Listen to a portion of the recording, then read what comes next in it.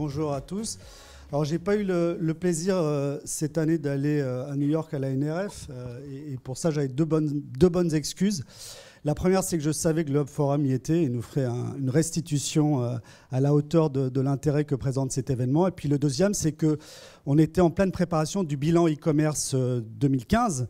Euh, et je remercie donc le, Hub Forum de nous avoir invités aujourd'hui pour ce, Hub consacré au retail, à vous euh, présenter quelques-unes des données qui ont été publiées euh, la semaine dernière, il y a même moins d'une semaine, à Bercy en présence de la ministre. Et donc l'idée ce matin, dans un timing extrêmement court, euh, c'est de vous présenter à la fois le bilan euh, de cette année e-commerce pour, l'ensemble des acteurs, et puis également vous donner quelques tendances, quelques perspectives qu'on observe et qui vont certainement euh, structurer l'année pour l'ensemble des, acteurs de ce secteur. Donc, Juste un mot quand même pour, la FEVAD, on dira peut-être un mot si on a encore le temps sur, sur notre calendrier, mais la FEVAD, c'est la fédération du e-commerce qui rassemble l'ensemble des acteurs. Et notre rôle, c'est justement d'accompagner le e-commerce, de vous accompagner, puisqu'il y a beaucoup de e-commerçants dans la salle, dans le développement euh, de vos entreprises, notamment en vous fournissant un lieu euh, d'échange d'informations de réflexion, de compréhension sur les grands enjeux du, e-commerce et sur euh,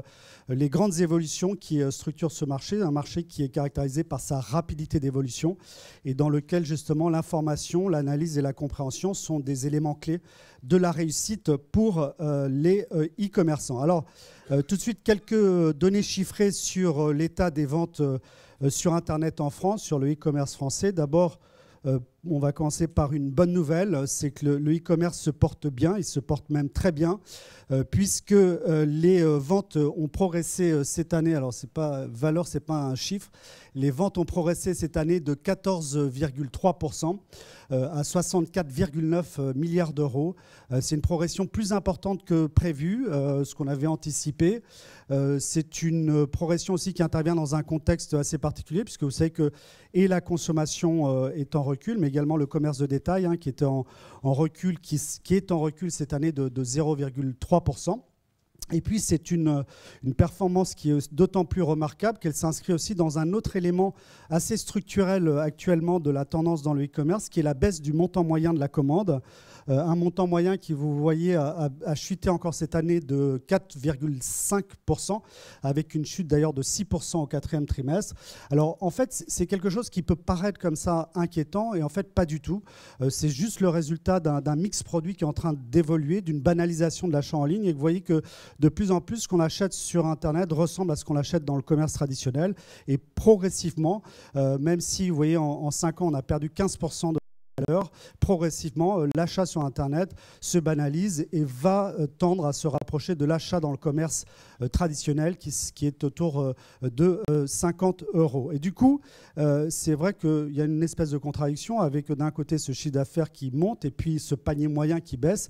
Eh bien non, en fait, cette contradiction n'en est pas une, puisque cette baisse du montant moyen de la commande, elle est aujourd'hui très largement compensée par une fréquence d'achat euh, qui continue de progresser, puisque sur 2015, vous voyez, on est à pratiquement 23 achats euh, par cyberacheteur ce qui fait à peu près euh, pratiquement deux achats par mois. Et vous voyez également là la progression, puisque euh, en 10 euh, ans, on est passé de un achat tous les deux mois à deux achats par mois, avec une progression très importante du nombre de cyberacheteurs, puisque nous sommes aujourd'hui 36 millions de Français à acheter sur Internet. Progression d'ailleurs particulièrement importante cette année de 7%, nous indique Médiamétrie, ce qui évidemment contribue à la croissance du secteur. Donc vous voyez une fréquence d'achat beaucoup plus importante qui continue de se développer qui tire la croissance et évidemment un montant d'achat moyen par cyberacheteur qui lui est aussi en forte hausse puisqu'on s'approche aujourd'hui euh, de la barre des 1800 euros dépensés par cyberacheteur. Alors,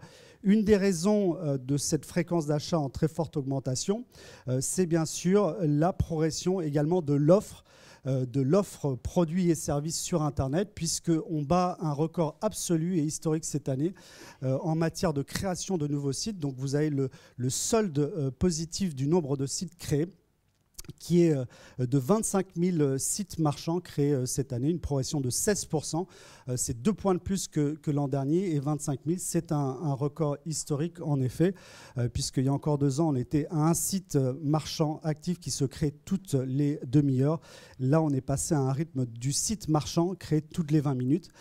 Et bien sûr, tout ça est extrêmement intéressant en termes de diversification, de richesse de l'offre, et c'est un, un, stimulant évidemment très important euh, par rapport à la croissance du nombre euh, d'acheteurs. Voilà, on reviendra un petit peu sur, sur la composition. Je voudrais maintenant qu'on on passe euh, quelques minutes sur les tendances qu'on peut observer. Alors des tendances notamment qu'on observe à travers les différentes enquêtes qu'on réalise, les enquêtes qu'on réalise auprès des entreprises, mais également auprès des consommateurs, et notamment une enquête qu'on vient de réaliser avec CSA sur les intentions des achats. Euh, les intentions d'achat sur Internet des Français pour 2016, qui nous permet aussi euh, de faire nos prévisions euh, et d'anticiper la croissance du secteur et surtout l'évolution des pratiques. La première tendance que je souhaitais partager avec vous, c'est une tendance à laquelle on assiste déjà depuis 2-3 ans, mais qui est aujourd'hui en voie d'accélération, c'est la convergence. La convergence, bien sûr, entre Internet et magasins. Et cette convergence, elle s'exprime de différentes façons, mais notamment elle s'exprime à travers le classement euh, des sites marchands qu'on publie maintenant depuis 2007 avec Médiamétrie, qui nous permet de voir un petit peu la composition euh, du paysage e-commerce français, un paysage assez particulier euh, par rapport à celui qu'on peut rencontrer dans d'autres pays, puisque c'est un secteur qui s'est construit sur les pure players, contrairement à d'autres pays. Mais voyez que cette convergence entre magasins Internet, elle est extrêmement forte aujourd'hui euh, puisque euh, pour la première fois depuis qu'on on, publie ce classement, 10 euh, des 15 premiers sites de e-commerce sont des sites qui appartiennent à des enseignes magasins. et c'est vous dire à quel point effectivement les retailers aujourd'hui ont accéléré leur développement sur Internet et sont extrêmement présents dans ce top 15. À noter quand même le premier du classement, Amazon, vous voyez, qui frôle les 20 millions de visiteurs uniques moyens par mois moyens par mois, alors que le T4 a été quand même perturbé au niveau de l'audience par les attentats tragiques qui ont euh, secoué la France. Et vous voyez que c'est pratiquement 2 millions, c'est même plus de 2 millions de Français qui se connectent tous les jours euh, sur le site d'Amazon. Et vous voyez aussi l'écart qui a été creusé entre Amazon et euh, ses poursuivants, puisqu'il a pratiquement le double de l'audience. Pour vous dire que si les retailers, effectivement, euh, aujourd'hui accélèrent leur développement, les pure players, en tout cas certains d'entre eux, sont également tout à fait dans la course. Deuxième tendance, le mobile, le M-commerce avec une progression très importante, certainement quelque chose qui est en train, qui pour moi est la deuxième révolution après le e-commerce. On a aujourd'hui celle du m-commerce, comme quoi les révolutions se, succèdent dans, ce secteur, avec, vous voyez, sur euh, les sites leaders, en tout cas, une progression très importante de 40% euh, du euh, chiffre d'affaires sur mobile et une part de marché qui a gagné pratiquement 5 points en un an, puisqu'aujourd'hui, 20% des ventes des sites leaders se font sur le mobile. Sachez que pour certains de nos sites, ils en sont déjà à 50% des ventes qui sont sur le mobile. Mais le mobile ne se résume pas simplement à la vente, c'est aussi un formidable outil de la relation client, euh, puisque vous le voyez, 84 et ça c'est l'enquête CSA qu'on vient de réaliser des e-acheteurs, envisagent au moins un usage marchand pour 2016. Euh, on retrouve dans cette étude les différents usages marchands, mais sachez que parmi les usages marchands qui vont le plus progresser en 2016 figure notamment la géolocalisation pour recevoir des offres promotionnelles, mais également l'utilisation du smartphone pour acheter en magasin.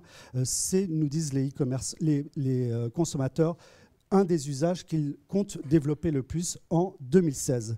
Troisième tendance euh, à remarquer, c'est la logistique. La logistique avec deux tendances. La première, une tendance très rapide qui nous, a surpris, alors qu'il y a un impact aussi sur le, euh, sur le chiffre d'affaires, notamment à travers les frais de port, c'est Amazon Premium. Amazon Premium, c'est cette formule qui vous permet, moyennant un abonnement, d'avoir une livraison euh, souvent express illimitée. vous voyez que 12% des e-acheteurs, je parlais de 36 millions, ça fait plus de 3 millions de Français qui sont déjà abonnés à Amazon Premium. Mais ce qui est encore plus intéressant, c'est de savoir que 35% des Français seraient intéressés par cette offre. Et euh, il y a beaucoup d'immersions dans la salle. C'est une offre qui euh, a des conséquences, bien sûr, euh, à la fois sur les clients, mais également sur le PNL. Alors, l'autre tendance en logistique, qui est un petit peu la réponse à ce système d'abonnement, c'est le click and collect, développé notamment par les magasins le click and collect avec, vous voyez, 38%, 38% euh, des e-acheteurs qui devraient utiliser euh, ce mode de livraison en 2016. Un mode de livraison qui va être certainement mis en valeur par les magasins. C'est aussi un moyen de générer du trafic en magasin et de l'upselling, puisque vous voyez sur cet exemple de la FNAC, ce qui est mis en avant d'abord, c'est le click and collect, même si ces enseignes magasins proposent elles aussi aujourd'hui des systèmes d'abonnement. On va euh, passer vite simplement pour vous dire également au passage que sur les sites leaders, cette année, pour la première fois, les livraisons hors domicile sont passées devant les livraisons domicile, c'est-à-dire plus de 50% des livraisons se sont faites hors domicile, soit en point relais, soit en retrait magasin, ce qui montre aussi l'impact du click and collect. Quatrième euh, tendance importante, euh, le collaboratif. Le collaboratif qui se développe extrêmement rapidement. C'est une des progressions les plus rapides qu'on note sur cette enquête CSA. Sachez quand même qu'en 2015, 40% des e-acheteurs ont utilisé du collaboratif et que 60%, 60% euh, d'entre eux comptent utiliser ce mode d'achat, notamment l'hébergement, le covoiturage, vous le savez, mais également beaucoup les achats directement auprès des producteurs et le nouveau, nouvel arrivé dans ce secteur qui est le colis-voiturage, qui est également une attente forte de la part des consommateurs. Mais ce qui est intéressant, c'est que c'est non seulement un moyen de consommer et d'acheter, mais également, et pour de plus en plus de Français, un moyen de vendre, euh, puisque 27% euh, des euh, sondés ont l'intention d'utiliser également le collaboratif pour vendre. Et du coup, vous voyez que vous, e-commerçants, vous avez aussi parmi vos clients des clients qui sont à la fois des clients, mais aussi des concurrents, puisqu'ils vont vendre euh, des produits parfois concurrents aux vôtres.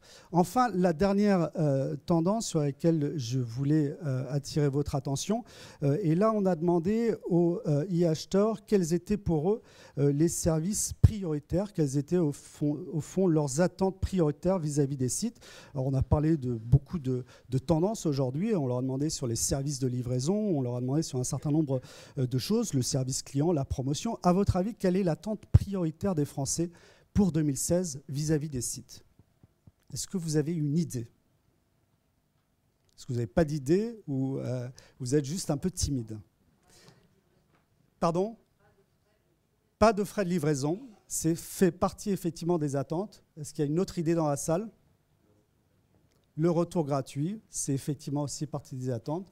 Mais ça n'est pas l'attente prioritaire des Français vis-à-vis de leur site. Pour 2016, l'attente prioritaire des Français vis-à-vis des sites, c'est la sécurité, la sécurité des transactions. Vous voyez, très loin devant les avis, devant euh, euh, les offres promotionnelles, c'est la sécurité. Et tout ça nous rappelle qu'au fond, le plus important, et même s'il faut sans cesse travailler à l'amélioration de l'offre, c'est la confiance, la confiance qui est à la base de notre métier. Et vous voyez que cette, slide est vraiment à garder en mémoire euh, parce que c'est elle aussi qui nous permettra de réaliser 2016 en termes de perspective de chiffres. 2016, euh, donc avec la barre des 70 milliards qui devraient être franchis cette année, 71,5, dont près de 10 vont être faits sur mobile.